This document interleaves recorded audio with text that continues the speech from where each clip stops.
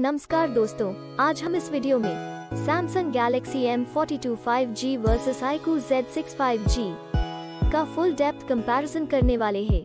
इसके अलावा इसी कीमत में आने वाले दूसरे स्मार्टफ़ोन की जानकारी भी आपको वीडियो के लास्ट में देंगे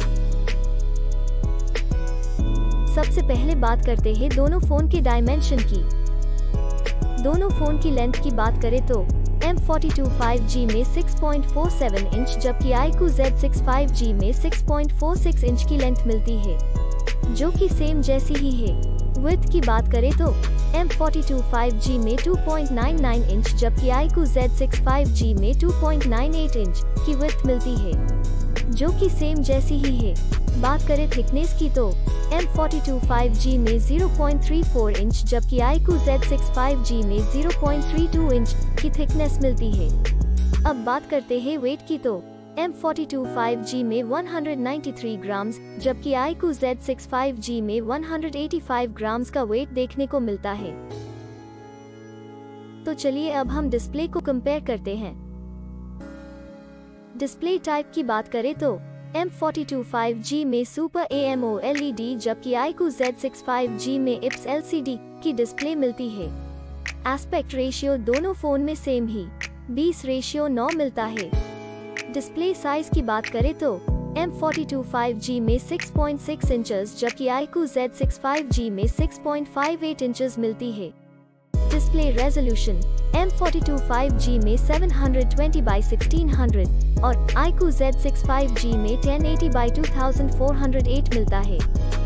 screen to body ratio M42 5G में चौरासी दशमलव दो आठ प्रतिशत, जबकि iQOO Z65G में चौरासी दशमलव शून्य नौ प्रतिशत मिलता है। बात करें PPI डेंसिटी की तो M42 5G में दो सौ छियासठ पिक्सल प्रति इंच, जबकि iQOO Z65G में 401 पिक्सल प्रति इंच मिलती है। अब देखते हैं डिस्प्ले के अन्य फीचर्स यानी विशेषताएँ की, जो कि मोबाइल फ़ोन का महत्वपूर्ण हिस्सा है। अब बात करते हैं सबके पसंदीदा फीचर्स कैमरा की। दोस्तों, सबसे पहले बात करें मैन कैमरा की तो M42 5G में चार कैमरा देखने को मिलता है, जिसमें कि primary camera ultra wide angle camera macro camera और आखिर में डेप्थ कैमरा देखने को मिलता है। और iQOO Z65G की बात करें तो इसमें तीन कैमरा देखने को मिलता है, जिसमें कि प्राइमरी कैमरा मैक्रो कैमरा और आखिर में डेप्थ कैमरा देखने को मिलता है। बात करें वीडियो कैमरा की तो M42 5G में आठ डिफरेंट टाइप के फीचर्स मिल जाते हैं। और iQOO Z65G की बात करें तो उसमें सात डिफरेंट टाइप के फीचर्स मिल जाते हैं।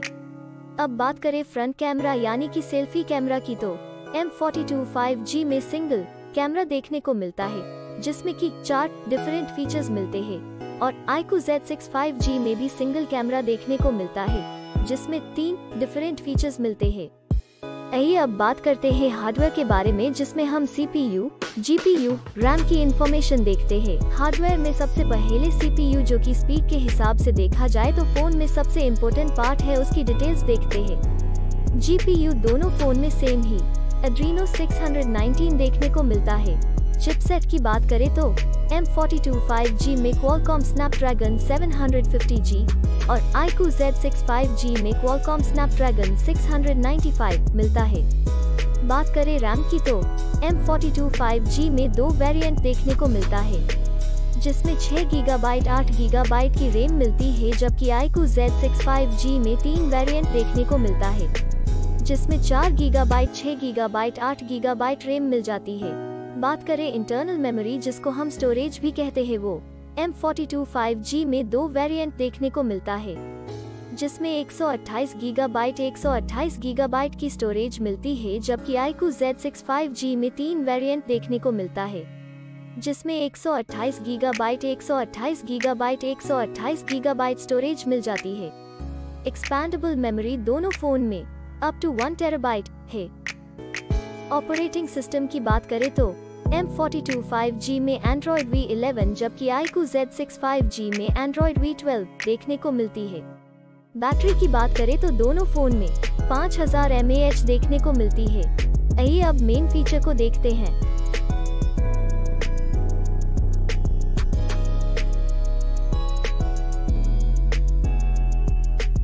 कलर्स की बात करें तो दोनों फ़ोन में सेम ही। दो कलर्स ऑप्शन देखने को मिलते हैं।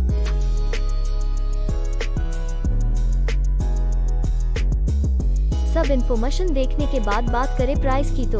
M42 5G में दो वेरिएंट देखने को मिलते हैं, जो कि 6 गीगाबाइट रैम 128 गीगाबाइट स्टोरेज के साथ इक्कीस हज़ार नौ सौ पचास रूपीज आठ गीगाबाइट रैम 128 गीगाबाइट स्टोरेज के साथ पच्चीस हज़ार नौ सौ अट्ठानवे रूपीज में मिल जाता है। वही अगर बात करें आईकू Z65G की तो उसमें तीन वेरिएंट देखने को मिलते हैं, जो कि चार गीगाबाइट रैम 128 गीगाबाइट स्टोरेज के साथ पंद्रह हज़ार चार सौ निन्यानवे रूपीज छह गीगाबाइट रैम 128 गीगाबाइट स्टोरेज के साथ सोलह हज़ार नौ सौ निन्यानवे रूपीज आठ गीगाबाइट रैम 128 गीगाबाइट स्टोरेज के साथ सत्रह हज़ार नौ सौ निन्यानवे रूपीज में मिलते हैं।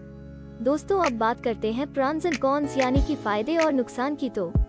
Samsung Galaxy M forty two five G में चार फ़ायदे और दो नुकसान देखने को मिलता है। जबकि बात करें iQOO Z six five G की तो उसमें सात फ़ायदे और एक नुकसान देखने को मिलता है। फाइनली बात करें है रिज़ल्ट की तो डिस्प्ले में M forty two five G आगे है। मेन कैमरा में iQOO Z six five G आगे है। फ्रंट सेल्फी कैमरा में दोनों फ़ोन सेम ही है। परफॉर्मेंस में M forty two five G आगे है। दोस्तों, अब हम सेम प्राइस में आने वाले दूसरे फ़ोन को भी देख लेते हैं। पहले कॉम्पिटिटर फ़ोन की बात करें तो उसमें गूगल पिक्सल 6 प्रो 5G है, दूसरा वन प्लस नाइन आर है, तीसरा ट्वेंटी थ्री प्रो 5G है और लास्ट कॉम्पिटिटर फ़ोन की बात करें तो उसमें Moto G seventy one five G है। और ये सारे फ़ोन की डिटेल्स आपको डिस्क्रिप्शन में मिल जाएगी। दोस्तों, अगर आपको ये वीडियो अच्छा लगा है या आपके किसी भी काम में आया है तो प्लीज़ लाइक करना मत भूलना।